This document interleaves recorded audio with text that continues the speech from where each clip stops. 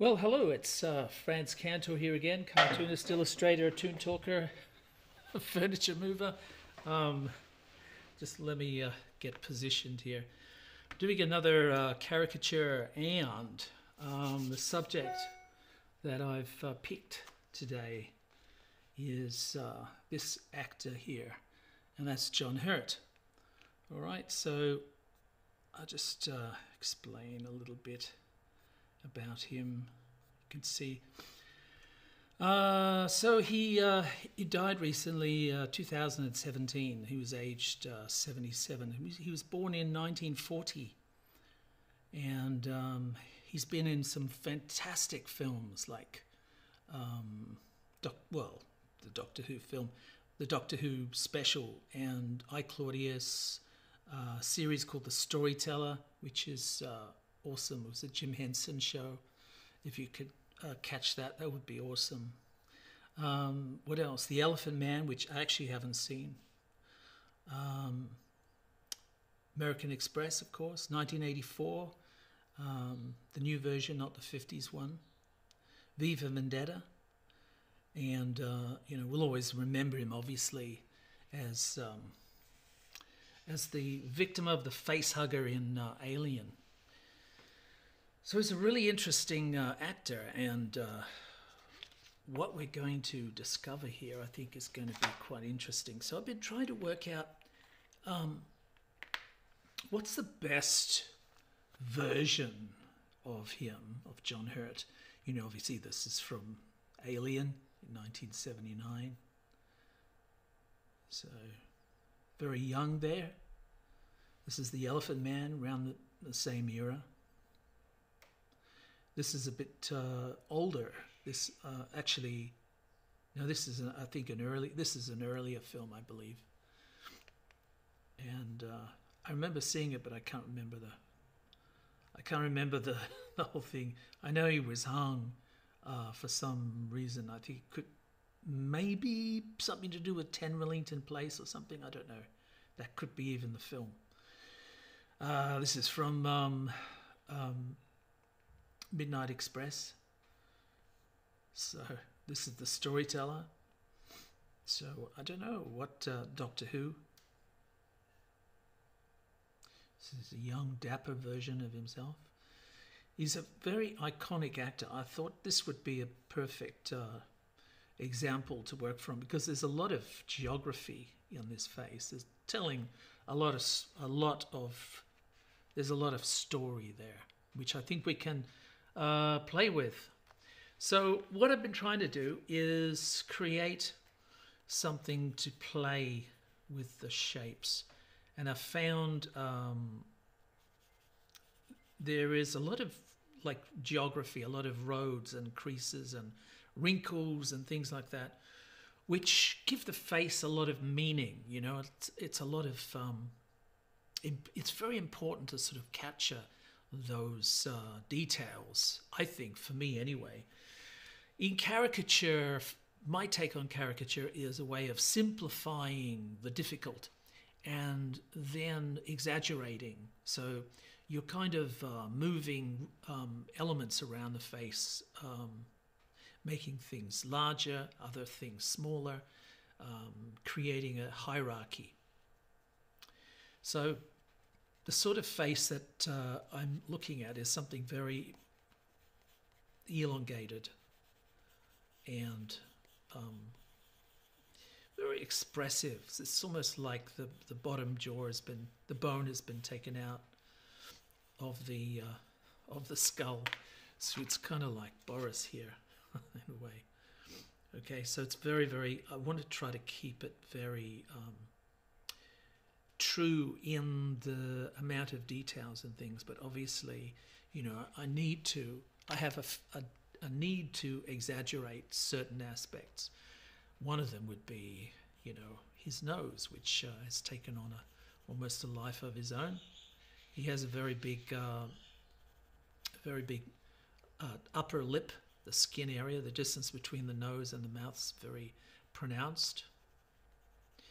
So in drawing the the face, in drawing any face that you want to sort of rely on uh, a, recognition factor, so it's actually a person. You need to concentrate in this sort of area here the eyes, the, the nose, and the mouth in a sort of a, um, a dialogue between these elements on how they look next to each other or referencing one to the other. Okay, because there's a lot of lines that uh, go around the nose and you know end up around the mouth and and uh, they a lot of lines that sort of start at the at the nose and go up into the brow and around the eyes and things. So there's a lot of uh, movement in the face itself, and this is sort of like a gesture. It's, it's, it's sort of uh, gestures are movements in space uh, of the body usually, um, but there is a gestural feel in the movement of forms in such a confined area. Now, with faces, and it's very true with actors, obviously, they're great communicators. So you want to get a lot of uh, activity going on in the in the face. So that's something to to um, we have to think about. The other thing too is that when we're drawing, we're drawing um, a three dimensional construct. So it's sort of like a sculpture in a way. Okay, so we like to think of the light source as creating a uh, a shadow that is descriptive of the forms. And in this case, the shadows are falling clearly on the uh, on the right hand side of the face. So there you have it. That's what we've got. So we're, we're working with this uh, this kind of construct.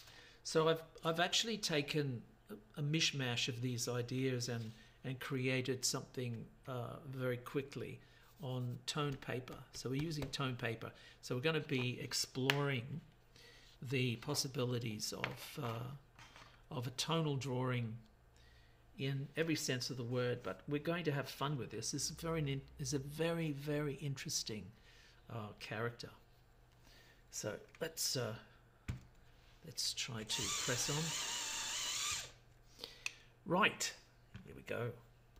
We're going to be using a brown pencil. This is a, a polychromo. This is Indian red. Um, I also have other um, pencils uh, like this one here, which is, I think, a, it could be, it's another Indian red, I think, or terracotta maybe. This is a, a Prismacolor. Prismacolors are softer pencils, so they're notorious for breaking, um, especially this, the whites. This is a, a white Prismacolor. Uh, we're also going to be using a black Faber-Castell uh, polychromo as well, and we're not using the blue. And uh, let's press on. Let's try to find our our um, our person here. So um, the what am I actually looking for here? The the face, the angle of the face. Let's use him. So the angle of the face is slightly down, looking down. So you've got the full um, uh, ability of the eyes to look out from underneath these big skin um, uh, areas of, of uh, fatty tissue. Um, eye, the upper eyelids and the brows, the beginning of the brows. So these are things that are creating the, this incredible uh, expression uh, in his face. Um, so these are these are things you have to sort of consider.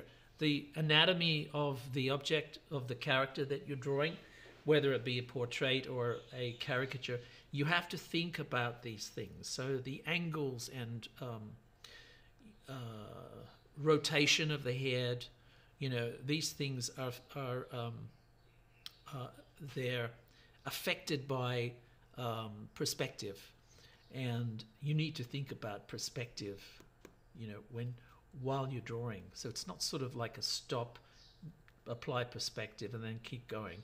It's something that you have to to create um, on an ongoing in an ongoing fashion through the drawing itself, right? So it's when you're making decisions you you test these decisions on knowledge of um, anatomy, knowledge of uh, proportion, your, your ideas of proportion, and um,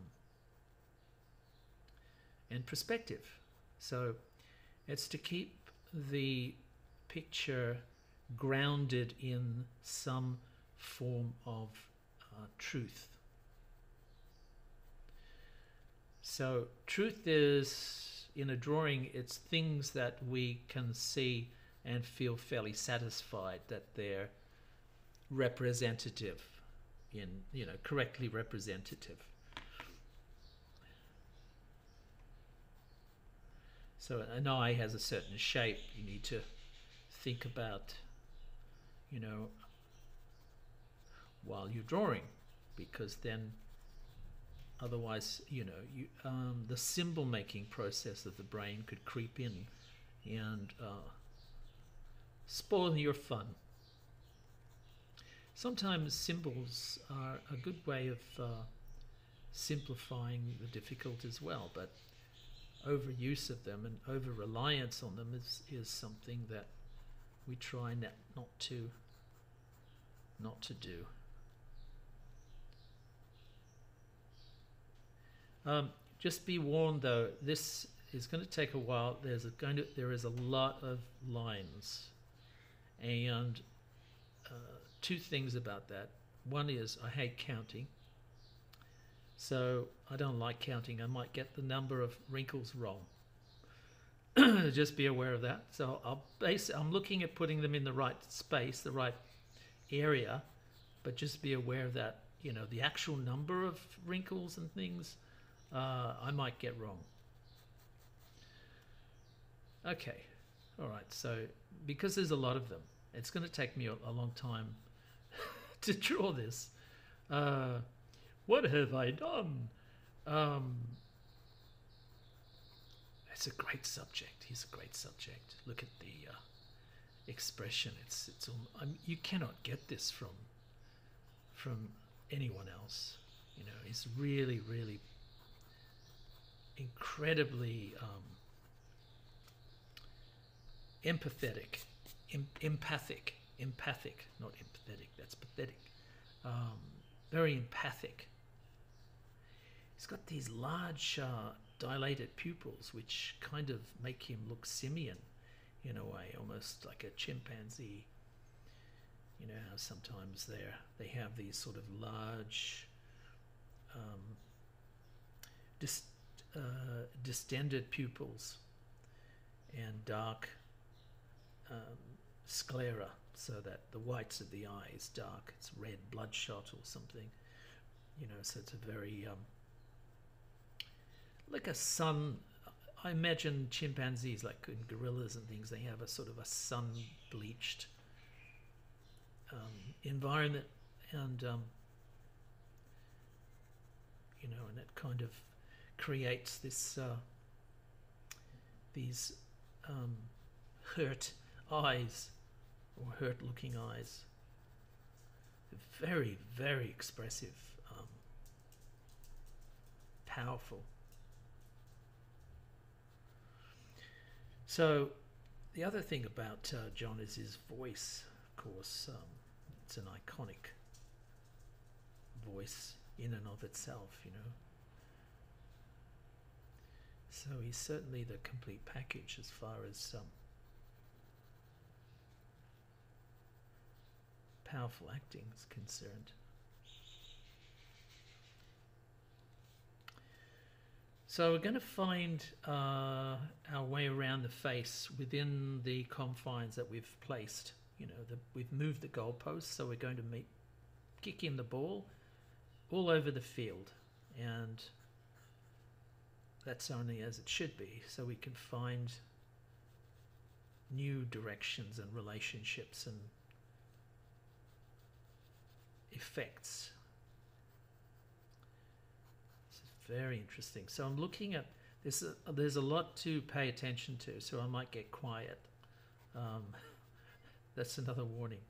I might get quiet here, but just be aware that I've got my eye on the reference, and I'm I'm sort of you know really into the the contours, the shape, of the individual elements of the face. So the direction of lines, the, the intensity of lines.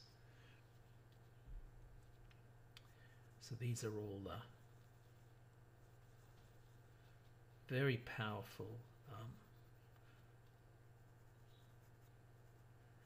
effects, I think, from looks like sun or weather. There was a lot of erosion going on here. So if you try to imagine um, the face as a landscape, there's a hell of a lot of erosion here. And that's really brought out a lot of the um, character, you know. And if you think about uh, expressions and thoughts that play over the face from the mind, right? They play over the face and they create furrows and they create cracks and they create wrinkles and things like that. And it's very, very evident in his face.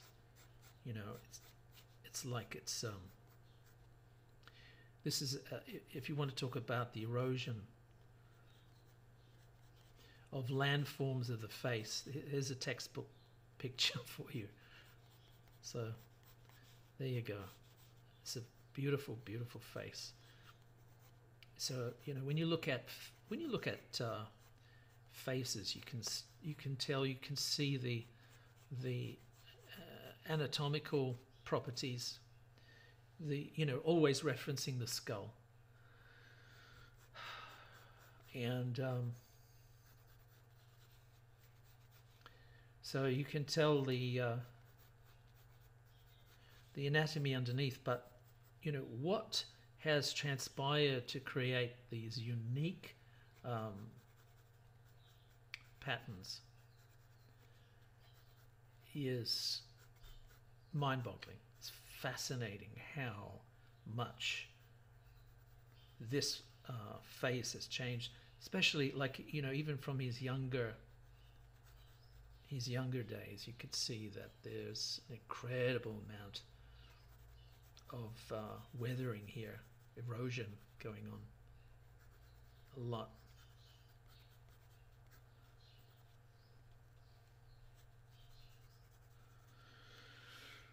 Okay, so um, again, you know, there's there's a lot of lines here, so I'm only really I'm only really guessing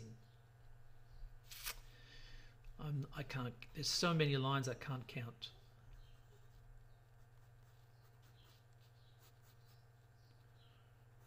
They're great. And look how they, look how beautifully the wrinkles um, continue throughout the tissue, throughout the different, around the different muscles.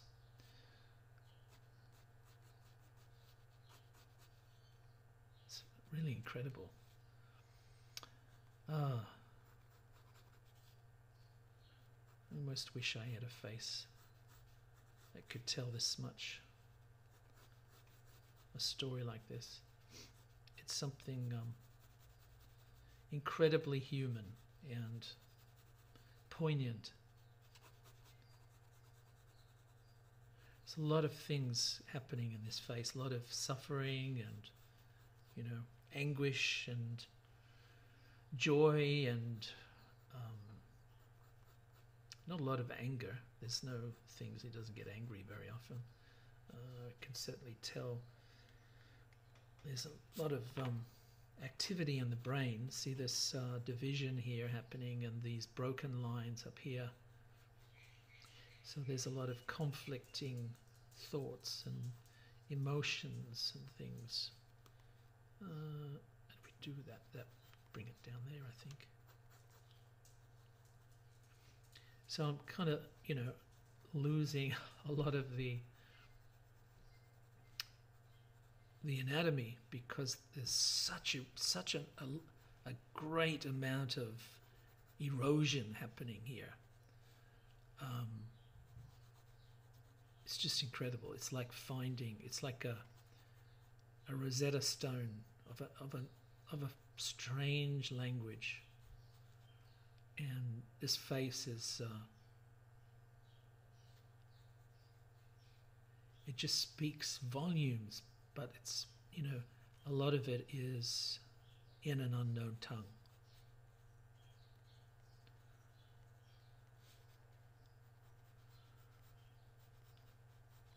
I hope I got the number of wrinkles right.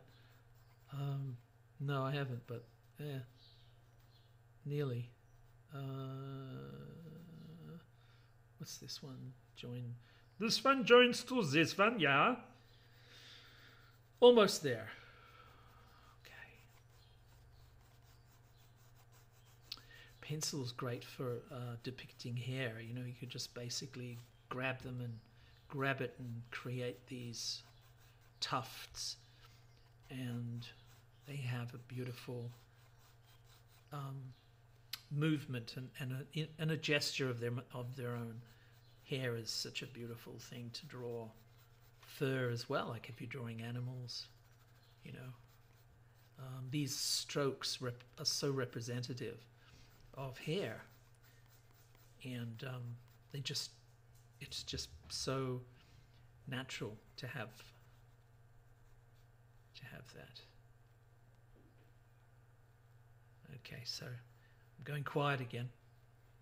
Uh, the um, okay, I'm going to build in some highlights in here. It's just well, beautifully lit. Um, you know, the amount of shadows in there, and then even in the shadows, there is enough detail to draw, so I can perfect can see absolutely you know, within the dark confines of the caverns of this mountain, this landscape, I'm finding a lot of um, context and elements to study and depict and to draw, you know. Beautiful, beautiful face. What a great subject. It's almost like, you know, why, why didn't I draw him before? So, let's see. Remember the shading, but that it'll it'll come if you know if it doesn't sort of uh, appear straight away. Don't uh, don't stress. So there's a lot here to catch. We're going to be using probably a white uh, Posca which is an acrylic marker, which is going to help kick up the notch of um, contrasts. That's going to be exciting. What a great subject. So, um, yeah, I first uh, noticed John's work obviously in Alien in 79 I never saw Elephant Man for some reason. I, I don't know why. Just never came up. Was must have been busy. Look at those lines there. Woo, that's like a cracked mud. It's great.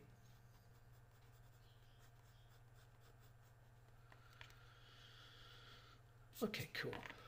So, uh, we're missing something. We're missing the big, the big uh, landmark. These uh, incredible folds under his eyes, um, which echo everything's you know beautifully uh, sinuous and and connected. So some really nice um, shapes that we're dealing with here. Very, very cool. Um,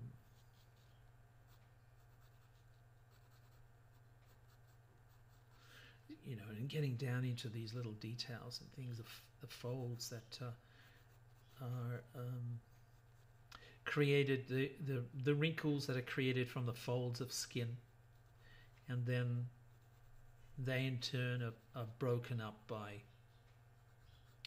smaller lines, spider like, that crawl over the face. Love it.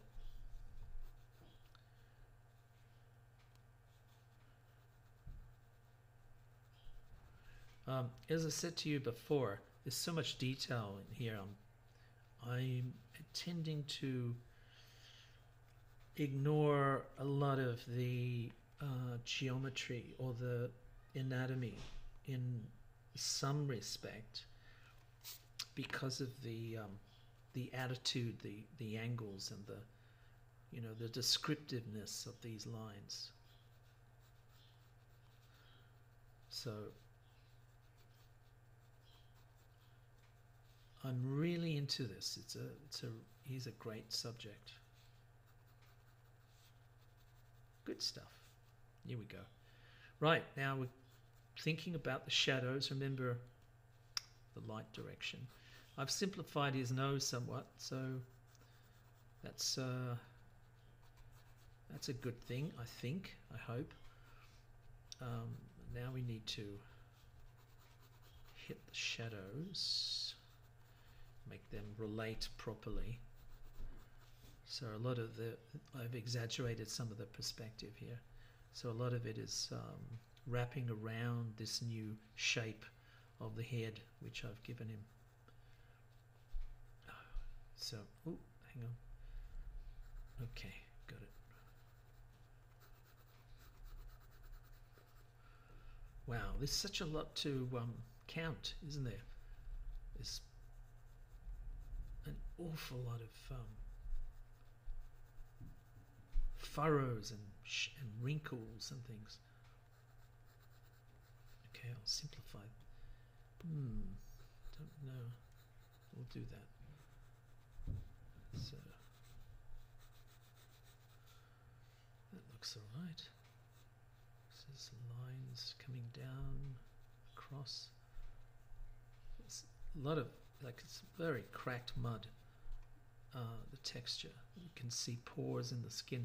I'm not going to be able to get a lot of this uh, stuff because it's too. It's way too subtle. But uh, it'd be nice if I could get as as much in there to give it personality. You know, we need his personality in there. And that's given by the trying to capture an expression, which is a thought. So think about that. You've got a pencil. You're using a pencil to catch thoughts. Spooky. Ooh. So there you go. These details represent thoughts, feelings, and you're catching them.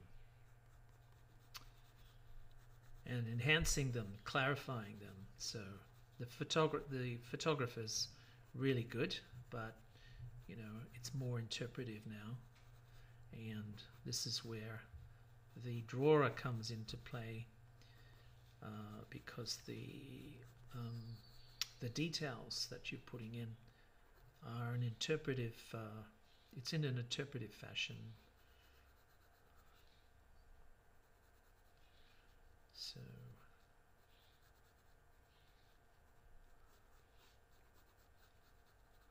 All right.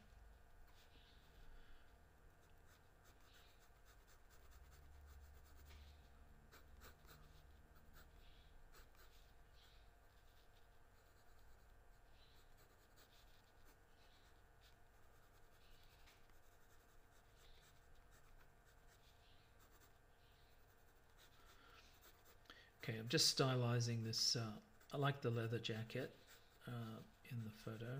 I just want to stylize it a little bit. I like the fact that the collars are up because that gives it an unexpected shape to play with. That's good. Um,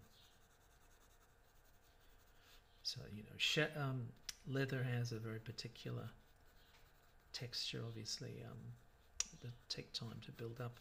So I don't know if I'm able to do that within the time frame. I'll, I'll try. Maybe just refer to it a little bit.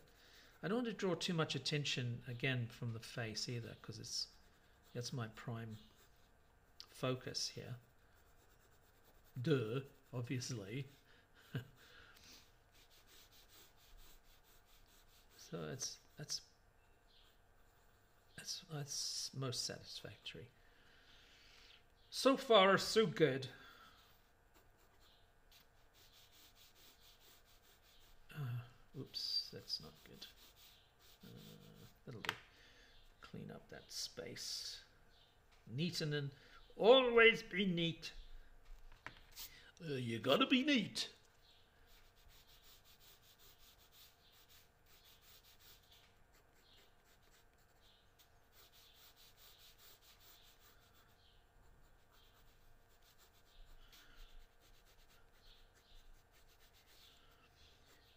So, subjects play a big part in the ideas, in you know, and sometimes you get you know carried away with I'm going to do this, I'm going to twist the face this way, and then going to twist the face that way. But then I thought, you know, if I do that, and I'll start to lose, I might lose a lot of the wrinkles and things, and the referencing the uh, all of these great details. So let's get into the um, using black pencil. Now we've just we've built the forms out, so I like the way it's going. Now we need to establish some hierarchy in terms of uh, dark and light. So usually, you know, you start caricatures with a broad shape, and then you get into the eyes probably, and as I said, the mask zone the eyes, the nose, and the mouth. So once you have those things, you've put in a lot of effort to make them relevant and make them true to um, the the reference, I suppose, that in not in terms of shape, but in terms of uh, of uh, relevant detail. So this is it's going to be interesting, isn't it? The way that his eyes are lit, um, which almost looks like he has no white in his eyes.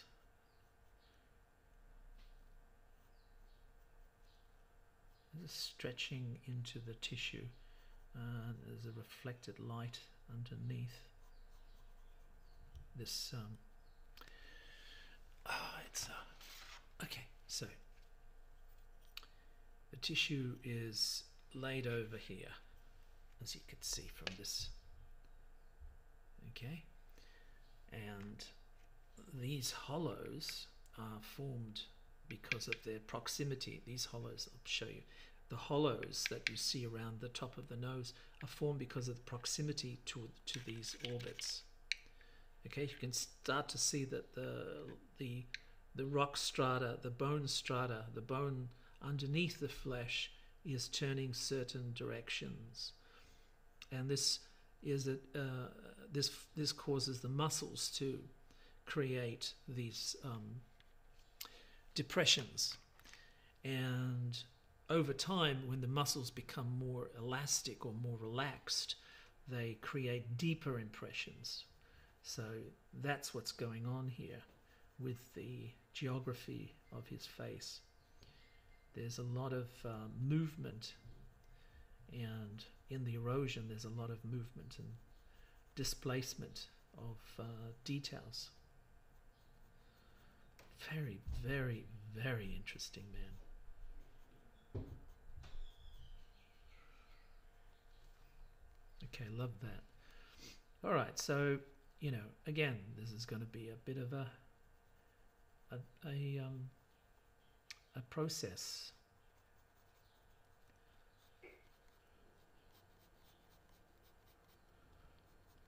It's a lot to cover. Lot. I've got to map this out properly. All the creeks, all the little roads, all the parks, you know, the bus shelters, all of these things are all in there. So I've got to reference them. I have to put some drawings in there. You know, so the best way to, um, I guess, to focus on drawing something difficult, complex like this, is to just start and forget about the complexity of it. Focus on one thing, you know, an eye. Just focus on that. If you can get that right, then the rest should come together. So there's a lot of uh, reflections coming up into his uh, into his eye from below, which is interesting. I don't. He has uh, grey eyes, I think, but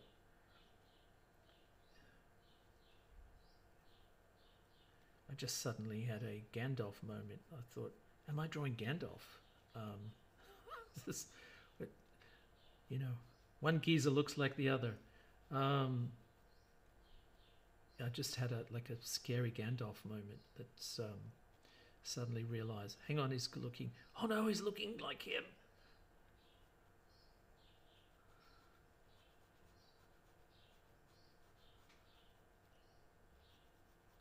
some you know there, there's a similar there's certain similarities in in faces and things. Sometimes you'll see elements of this character or that character underneath. Um, and uh, there's literally nothing you can do about it because um, you're committed to certain things. And it just means that you've gone um, you've gone very close to another familiar landform okay? That's all it means. So don't let it throw you. If, if suddenly your caricature looks starts to look like somebody else other than the intended subject, so don't um, don't be too hard on yourself. Wow, look at these lines here. Have you ever seen the? I've, you know, I've seen photographs of uh, people living hard life in the desert and things like that. And and their faces take on these incredible um, properties.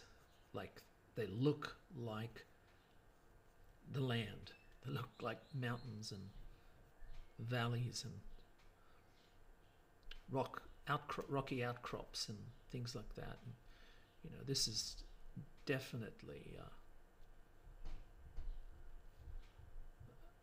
caused by you know drought and bushfire and things. He's had all of these, he's had bushfires in his face. So there's a, you know, there's so much story in here, you don't know where to start. It's, it's a scary amount of uh, story. The narrative here is uh, incredibly um, complex and diverse and um, detailed. That's the thing, you know, it's the detail of this story of his face. It's really incredible. All right, so let's continue, push on. So I'm just helping some of the lines stand out a little bit more. And we're going to be using a white pencil to build up still more uh, contrast and structure and that's going to be fun. So the the direction, if you see sometimes you have to act instinctively almost with uh, the process sometimes, you know. So if you see a wrinkle um, in a certain shape, you want to um, uh, exaggerate it sometimes, then you should do it because that's how it. As you approach it, you know that's how you feel, right? Sort of finding a direction that. Uh, that is true to what you want to do. Remember, the number one rule is to entertain yourself. So as long as you're having fun, nothing else matters. Doesn't really. It's not there. So, um, in other words, you have to enjoy the process. Otherwise, you won't benefit from it. And when I say benefit, it's like the, I'm getting an invaluable amount of. Uh, details and things here which I am really appreciating. And uh, you know it's telling me a lot.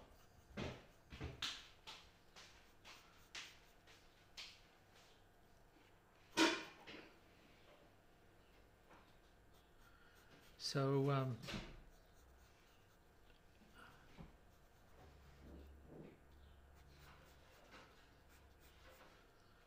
yes, it's really good at pencil's really good at uh, depicting hair and fur and you know because the, the lines are very representative of uh, of those shapes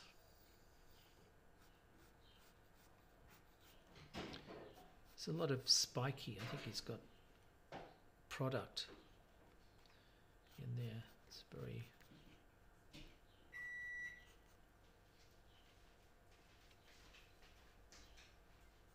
very cool.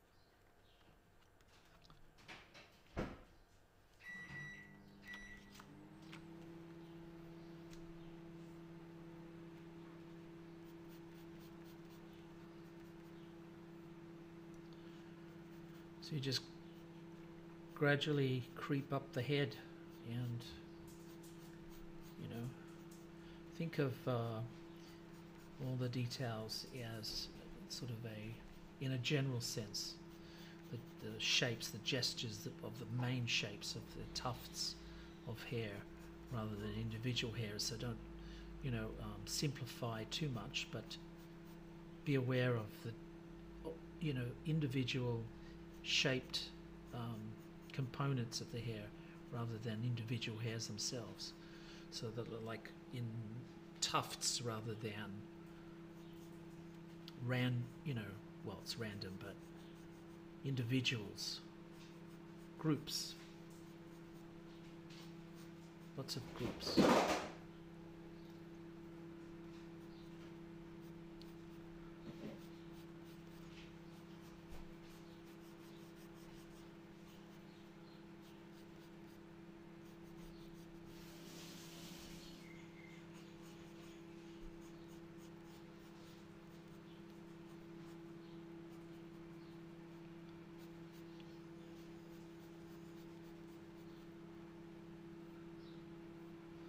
Some great stuff.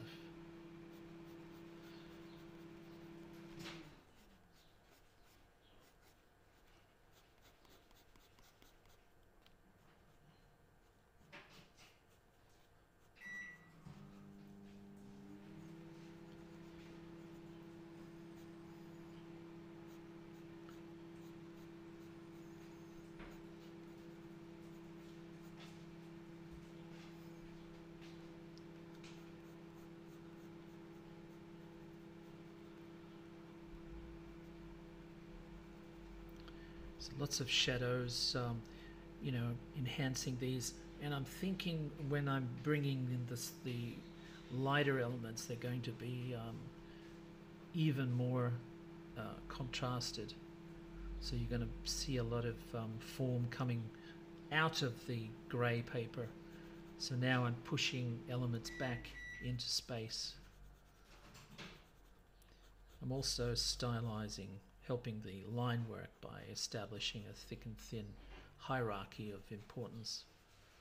So it's just a matter of uh, creating the right sort of balance and um,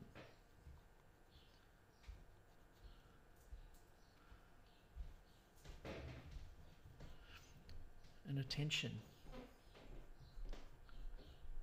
So looking at this is a, there are reflections bouncing into the eyes. It seems to be almost um, uh, have a, a slight milky characteristic to the eye itself, which uh, you know indicates age, of course, but um, sun damage mostly. I think it's the the reason why it shows up. So it's squinting at lights and, you know. Okay, some beautiful shadows here. And we're building from this area. So again, it's quite hollow. There's a bit of a hollowing out here. and a reflected light going into that socket. So we're trying to um, draw a lot of things. Of course you've got the eyebrow hairs that are um, covering a lot of the geometry, you know. So it's cool stuff. Cool, cool. Here we go.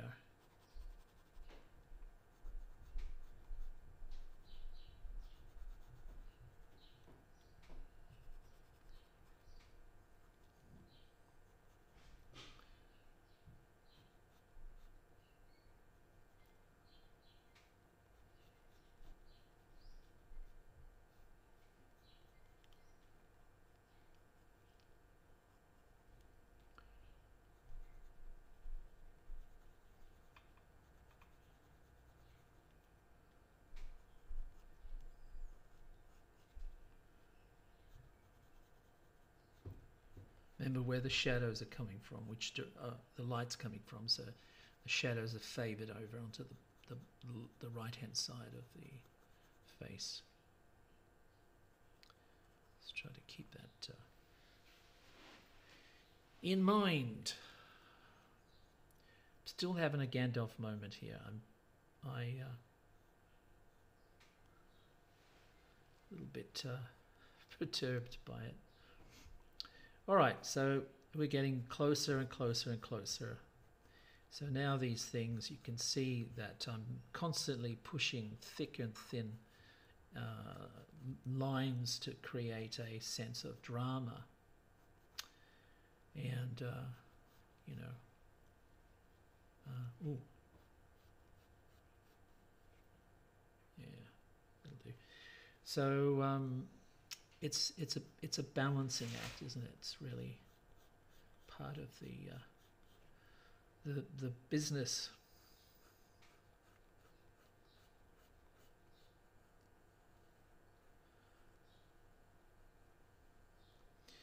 Remember, uh, when you draw, you're not a camera, so you're not um, you're not subject to all of the laws of realism of um, real world, so you can exaggerate. You have permission to exaggerate.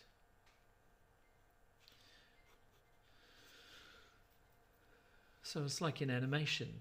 Animation is an exaggeration of uh, of action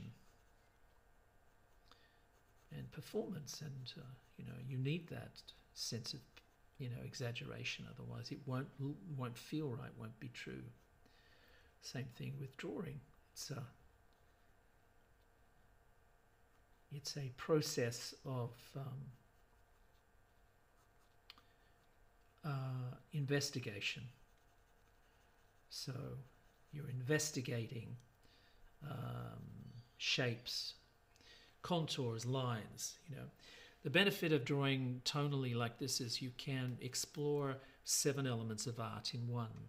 So, seven elements of art. The elements of art, of course, components that uh, make up usually all art, but um, you know they have certain um, propensity to favor a one direction over another. So you could say at the moment this is very. You could describe it as being linear. That's one of the first um, elements of art. So seven elements.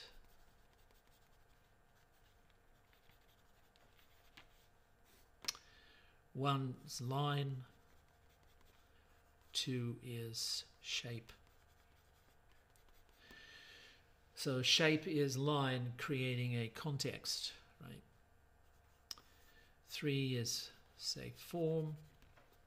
Form are the sculptural elements or the three-dimensional. So that's put a little 3D next to that. Four would be tone. So that's contextual, so it's light and dark. Um, contextual because something that's light is darker under certain lighting conditions. Something that's dark is lighter under certain conditions. So it's contextual. Five would be texture Uh, texture is very interesting in drawing because I'm making a texture of, of hair. Soon I'll be using white um, pencils and paint, and that's creating a texture of smoothness and shine and reflectivity. Six is color. Uh, color is also contextual depending on, it's like tone, tone and color. Um, it's also contextual because it's it depends on how how light that situation is, uh, the environment. And of course, the last one is space, final frontier. Space is um, an expression of um, the object or the thing that you're drawing within a greater context, within a within a a, a physical, pro, you know, area. In this case, I'm indicating that by having this sort of a window frame, which is a compositional tool to center and um, give some sort of purpose to the drawing. So it's a it comes from graphic design. It's a graphic design uh, construct in a way that uh, that I've I can use to uh, create a better sense of unity and, and balance.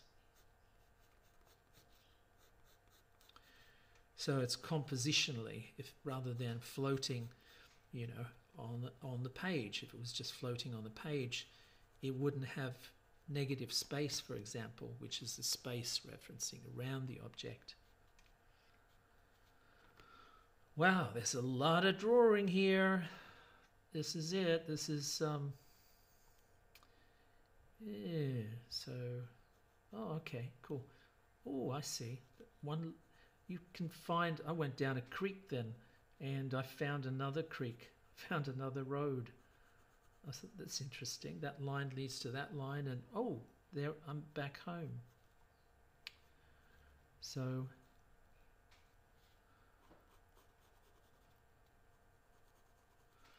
So I'm just going to lightly, uh, actually let's help the nose perhaps. Oh, be careful. Yeah.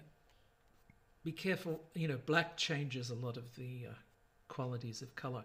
So color here is implied by use of a of a brown or red red brown pencil. And that gives the drawing a warmth that approximates the warmth of flesh itself. So it's a nice way of uh, implying color um, properties without using a lot of color.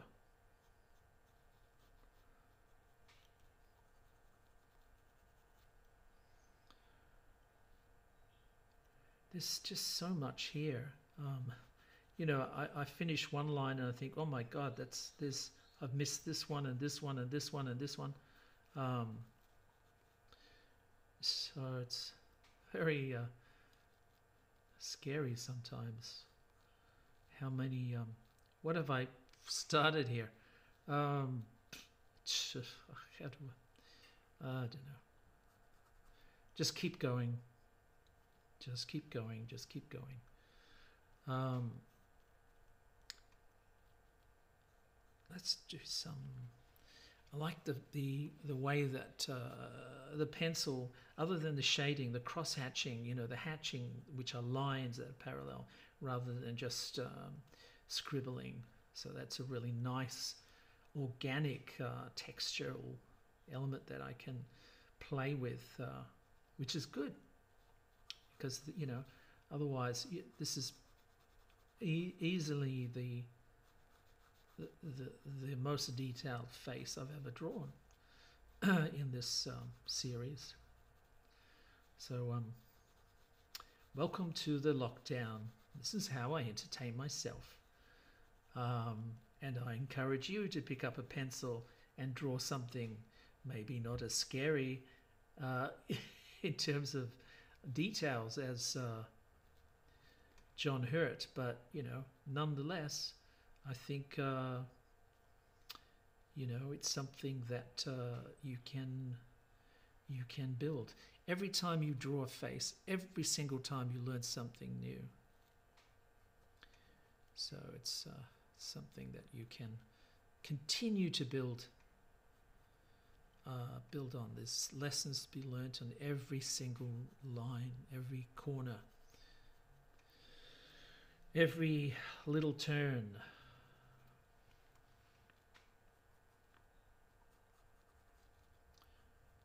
Okay, so it looks like there's a some curves that I'm also missing here and about. Okay, I'll simplify this a bit. Just, yeah, just simplify it a bit. That's good. Okay.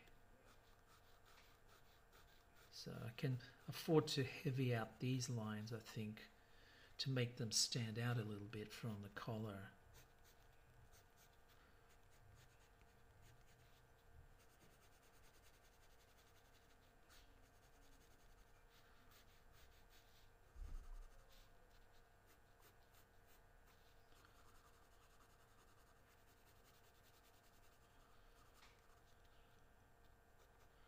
This is skin under here.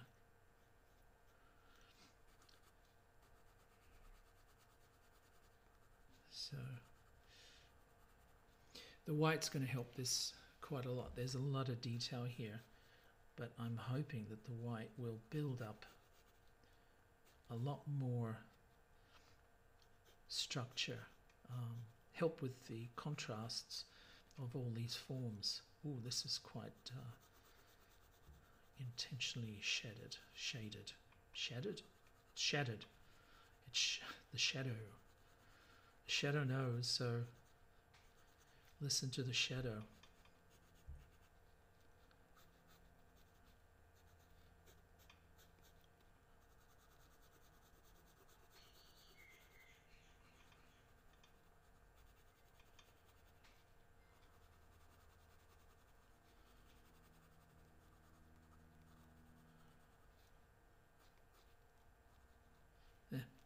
Might be able to help that with a black pen, a black uh, brush. Um, make it a little bit more prominent.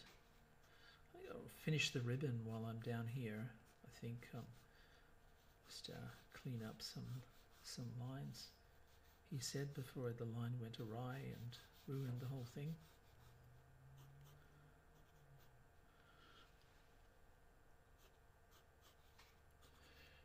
So I've taken on the uh, extra responsibility of making little name ribbons. Haha. Okie doke. Here we go. Right. First, first order of business. The hottest po- points of light. So the brightest areas, which are, would be like reflections. And that's important to distinguish so that you know from what level of shade you are progressing to. Right, so you now know how dark the dark is, but how light is the light. Okay, let's see. So these are little hills, little moles, and things, so they require some attention for sure. Right, now over on this side, it looks a little bit less like the other eye because it's catching some different lights. And it's revealing a little bit more about the eyelid. There is a little bit of I guess can I? I don't know. I would. I don't. I don't think I'd. I'd put a light in there because there isn't one. There's only reflection in there from looking at the photo. So be careful.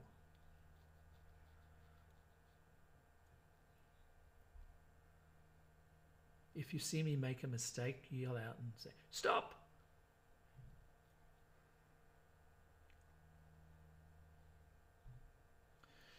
Okay, so I think uh, we're gonna. I think I'll put in some, maybe a, a little rim light over on the right hand side. So it's not in the reference, but um, it tends to make the forms more solid if you have more than white, more than sorry, one light source. If you have two light sources that sort of you know fill in or break up some of the the form um, and the shadows, uh, sometimes it's helpful to create that.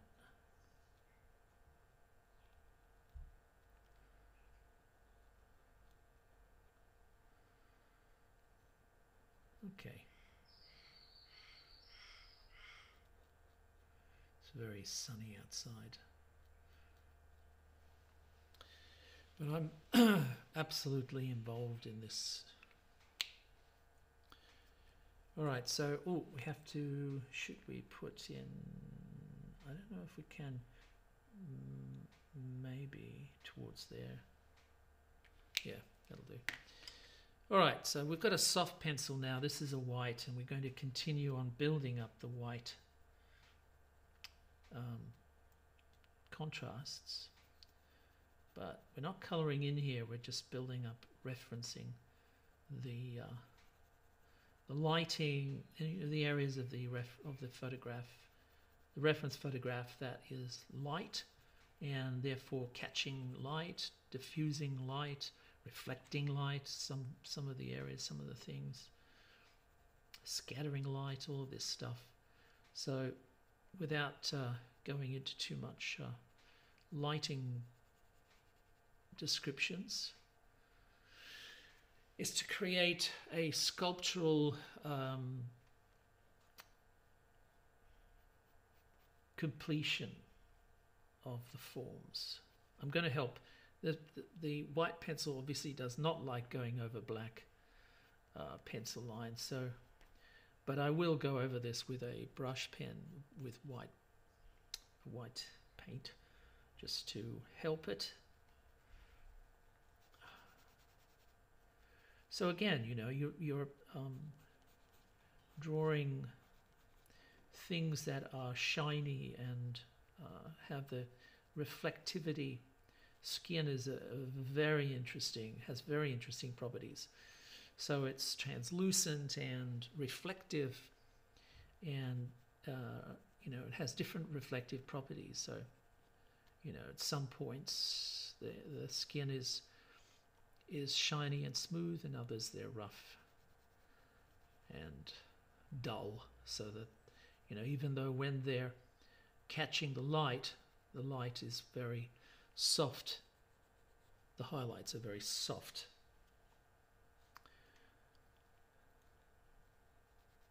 Remember how folds work, right? So that light is catching on the top of these furrows, these wrinkles. Yeah? So remember the light. Always think of, you know, you're putting, um, you're referencing light, you're drawing light, you're drawing with light here. So think about what that means and what should be lit and what shouldn't be lit. Right? So light's coming in from that direction, so you have to light, you have to draw it with that in mind. Okay? So obviously at the top of forms and left of forms, you'll find a highlight. And that uh, is true of um, most of the things here, most of the elements here. I mean, there is a little bit of, you know, reflected light, bounce light, or whatever happening here and there, but you know, basically that's the that's the the general lay of this this country, this land that I'm drawing. The continent, the um, the very interesting country of John Hurt. Okay, all right, getting there. Now the brows stick out a little bit more, so it's safe to say that they'll be they'll catch a little bit more light. Um, the brows, the flesh part of the brows, not the uh, not the hair itself. So I guess it's to you know keep something more or less within the context of how things work in the real world. Um, and it's nice to sort of find those elements and while you find them and you depict them with a pencil, you're understanding how it works, right? So It's sort of like the best way to understand something is to draw it. If you don't understand something, you know, if you're a heart surgeon or something and you want to understand the heart, if you're studying anatomy, you're studying medicine or whatever, draw it. You'll understand it better. Trust me. If you draw something, you know, the uh, you peeling away um, confusion and creating a uh, an understanding. Right, so here we go. The big, massive uh, nose, the schnoz, the schnozola. We're getting into a shape which we can pretty much play with. Uh, this is something that um, it's really up to you how much you want to distort and push and pull. It seems to be very pliant and able to still look like a nose no matter how much you distort it. So it's because it's a simple shape and um, it's um, easy to um, change. It's easy to, you know, um, distort. Here we go. So again, light coming down creates uh, light on one side of the wrinkle and um, of this, these forms. So as much as possible, try to keep that in mind when you're putting in the highlights. Obey the position of the light.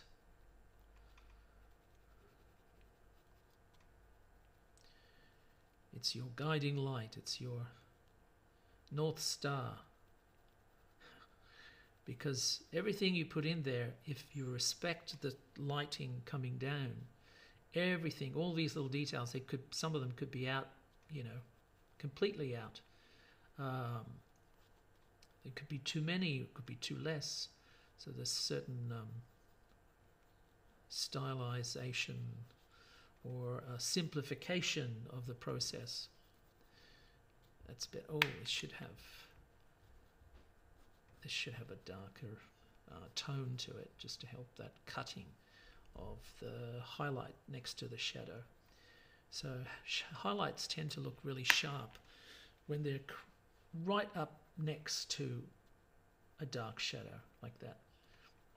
And really, there that exists in real life. If you were to get a magnifying glass out and study the photograph, you'll see that pretty much happening in real life. You know, the the highlight exists in a uh, beautiful context with the with the shadows.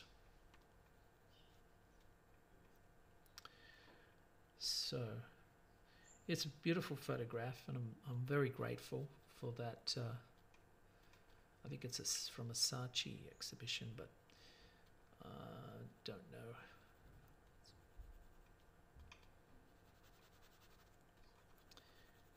I'm just. Uh, pleased that uh, I can get this um, these forms here. You know, they're really magical. They're really, really good. It's such a lot of. It's such a. It's a beautiful experience. You know, this um, the drawing of this beautiful man's face.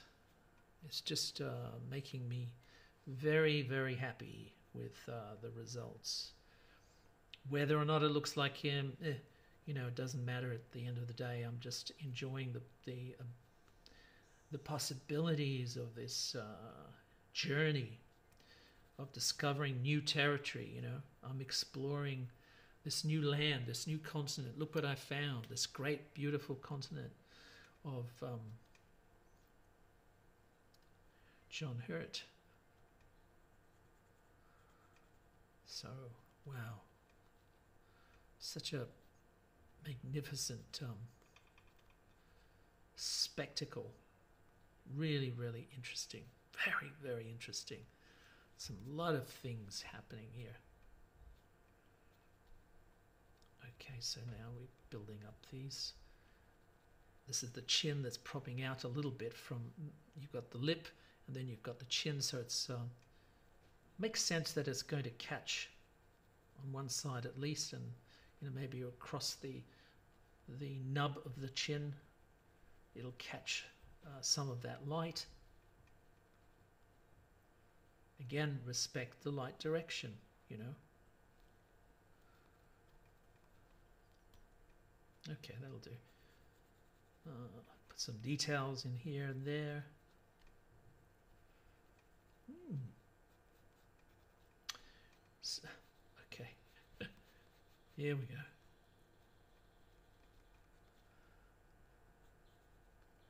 Leather has like sharper, sharp um, highlights and things because it's you know so glossy.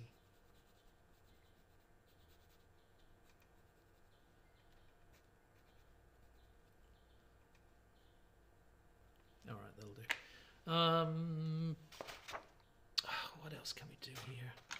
Get into more mischief. Okay.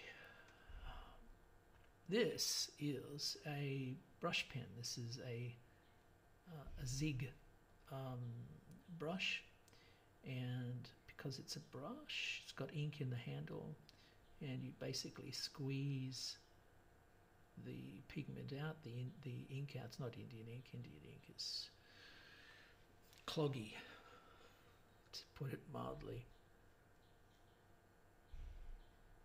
It's very black, of course, but you know, which is great for contrast and things. But I've never found. I've always found Indian ink very difficult to manipulate and control.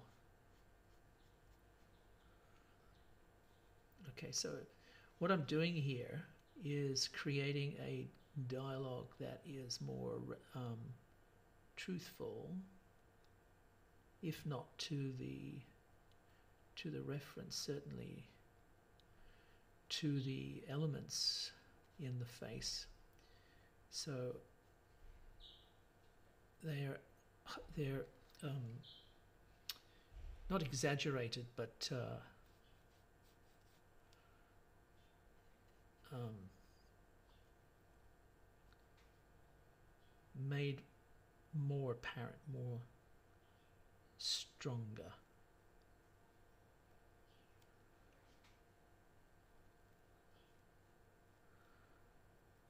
Because the ink is a lot blacker than the black pencil, you know, and it's very helpful. So, part of the drawing in space is to create a separation between some of the forms, like the nose, for example, stands out from the rest of the face. So it makes sense to, you know, outline that, but you wouldn't outline everything because uh, it just creates a too much emphasis on, on the linear.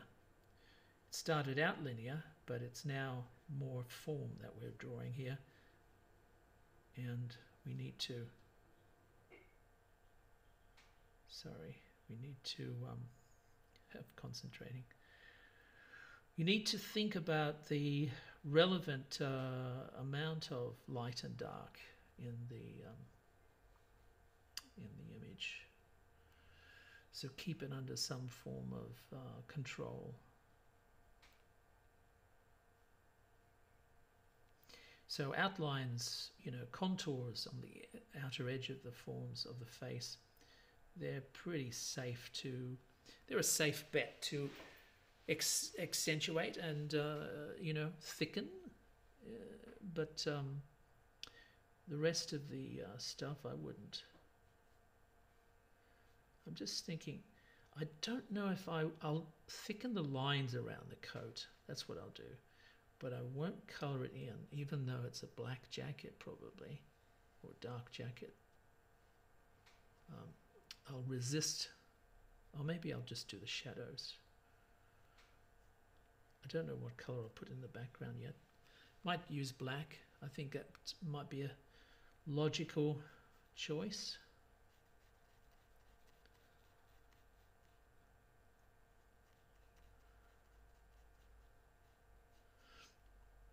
What an exceptional man.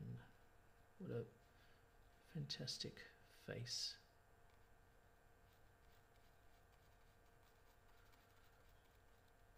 Have I got the likeness? Don't know, but does it matter? Really? Let's put a fill in this area. So once and for all we're referencing that light source coming in from the top left. Uh, that one too would cover that. That should be alright. Yeah, you know what? I will. I think I might try to fill that a little bit in. That'll do. So uh, it's uh, interesting, interesting. All right, so we're going to get in with uh, black uh, in the in the sky, but just before I do that, I'll just move the skull out of the way. And uh, I'll look for something in particular that I have here, which is another marker. It's a, it's a Posca marker. And these are great, aren't they, for uh, colouring in because they don't go through the um, they don't go through the paper, which is a complete bonus. What I'm after is a no, not that one. I'm after a brush pen, not that one either. Hmm where there it is. So this is a brush pen, so the it's a pump at the top. It still has a ball bearing in it, so you shake it to mix the paint inside, and you just simply pump it on the back end until a drop of paint comes through and wets the bristles. And then um, you can continue and the beauty about it is that it's uh, all of the um, opaqueness of the other Posca markers, but now it has thick and thin properties to it, which is handy because I want to draw some. Actually, I won't use. I won't use that. I'll use a thinner marker for that. I'll do that in a sec. But I want to put some shine up here and down there. Just a touch.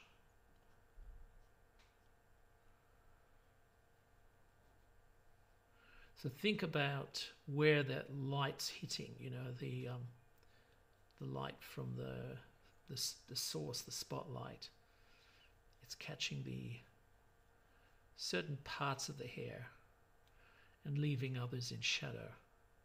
And then some parts of the hair are lighter, they're grey or something, and therefore they're probably more reflective than other parts of the hair. So they would have a, a, a, a property, different property.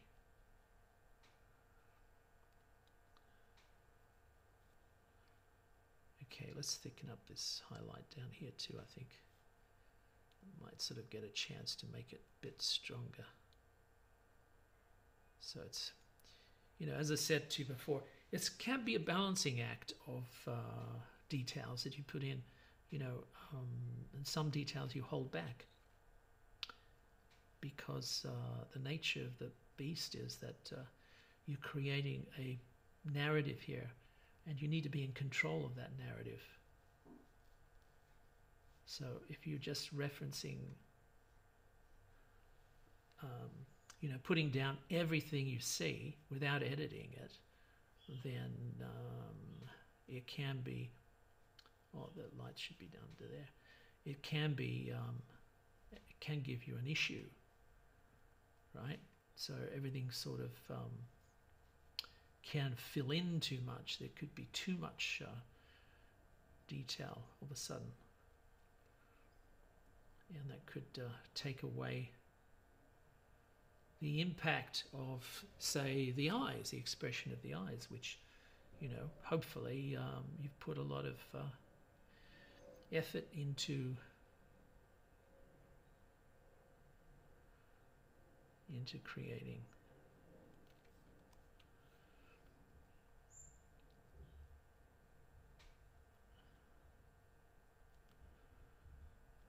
Okay. Huh. All right.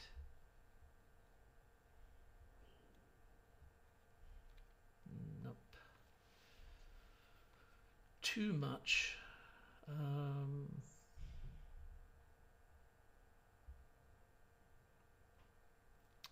yeah, you have to go gingerly with this uh, this effect because too much draws attention to itself, and that's not what you want.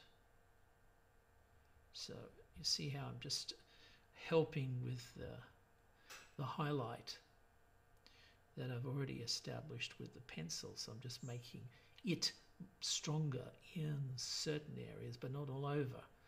So if you did it all over, it would become superfluous to, to actually draw the, the white in the first place. So everything has a hierarchy, right? Like a level of importance, a level of detail, a level of light and dark. So that seems to be.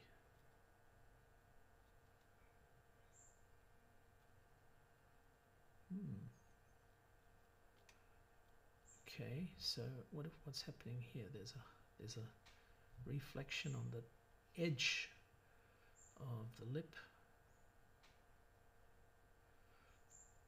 Uh, something's happening at the top. We might leave that alone because I'm not all convinced that uh, this will be helpful on that side. So we'll try and um, what can we do up here to get into more mischief?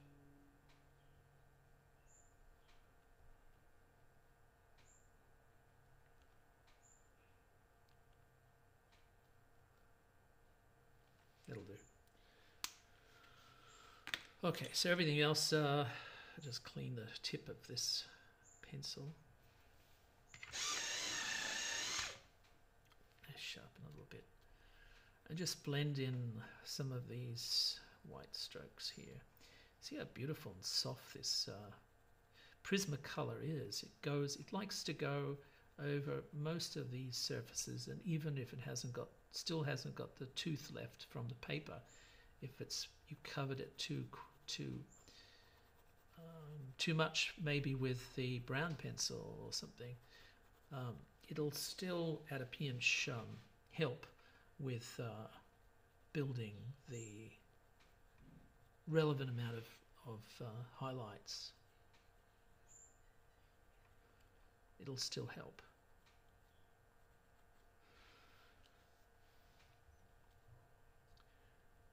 Wow, okay. It's very, very interesting face. All right, so not finished yet. Get some, this is a finer point uh,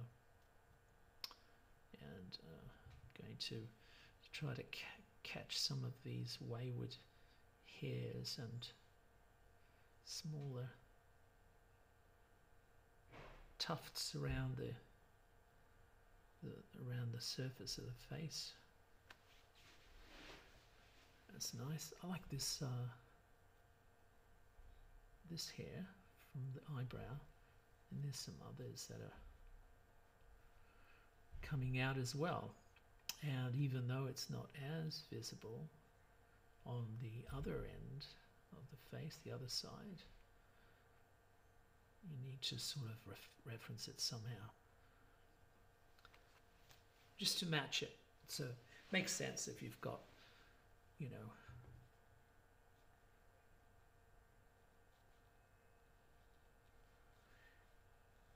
lighter hairs here and there. Makes sense to balance them left and right.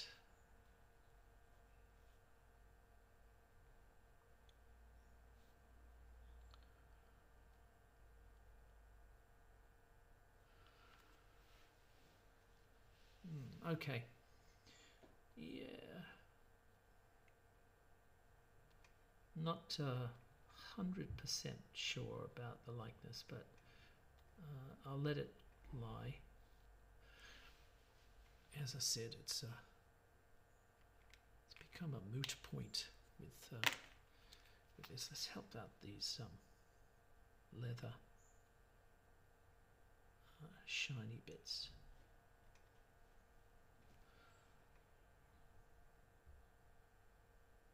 Leather's another fun uh, thing to draw because um, has certain uh, characteristics of depth and intensity of shadows, and and because it's glossy, uh, a lot of it is glossy. Then you know it has a tendency to be highly ref- highly reflective, depending on how how new the leather is, I guess. But um, it can offer a very interesting texture.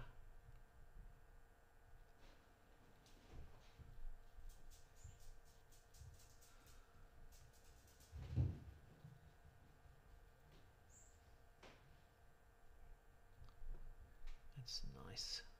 Look at those little lines and so many little lines. You could go on this. You could go on and on and on and on and on. But let's not. Let's let's try to end this. Let's give it an ending.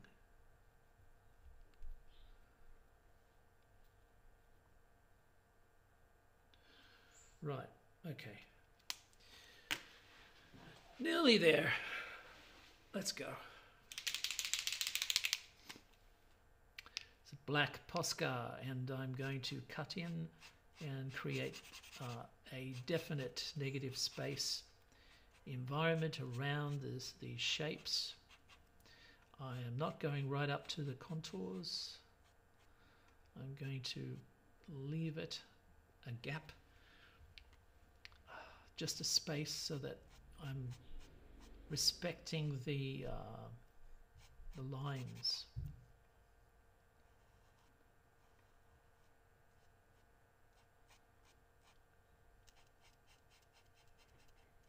Lots of fun.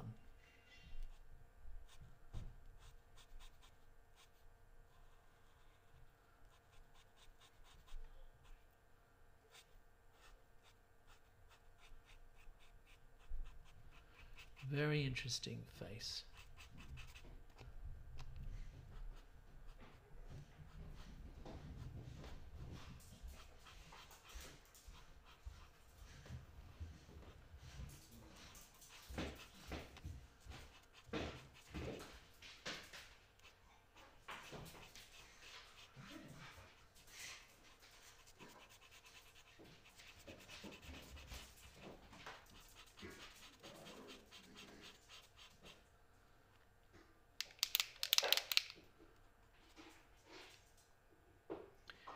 So even with uh, three colors, you've got the, the trois crayons method, like classical uh, style drawing, like uh, Ingres, neoclassicist, and he was obviously referring to Raphael and Michelangelo and Leonardo da Vinci, you know, the other turtles.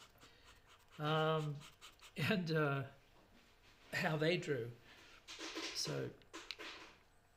you know, they used many different materials, but uh, a lot of times they would use the three crayon method, like this red or uh, um, terracotta, earthy, reddy brown, black, and white. And today it's really good because we can get them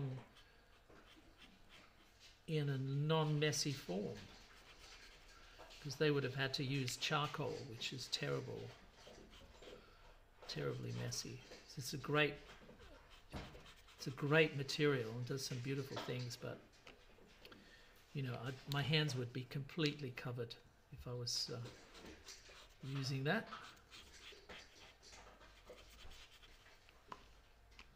We don't need to do that.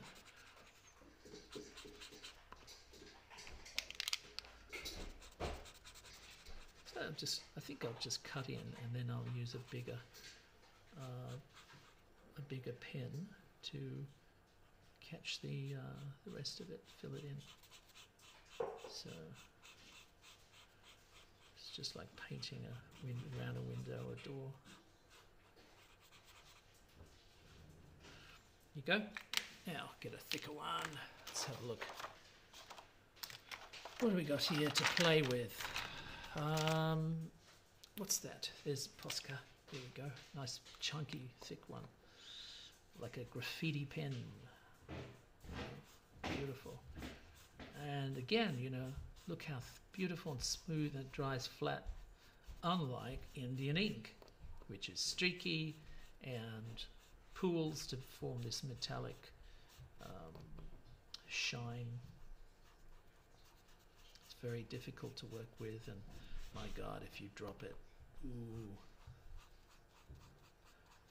I used to be paranoid about Indian ink dropping because we had artist desks which were tilted, and that just meant that you know it's a, an accident waiting to happen.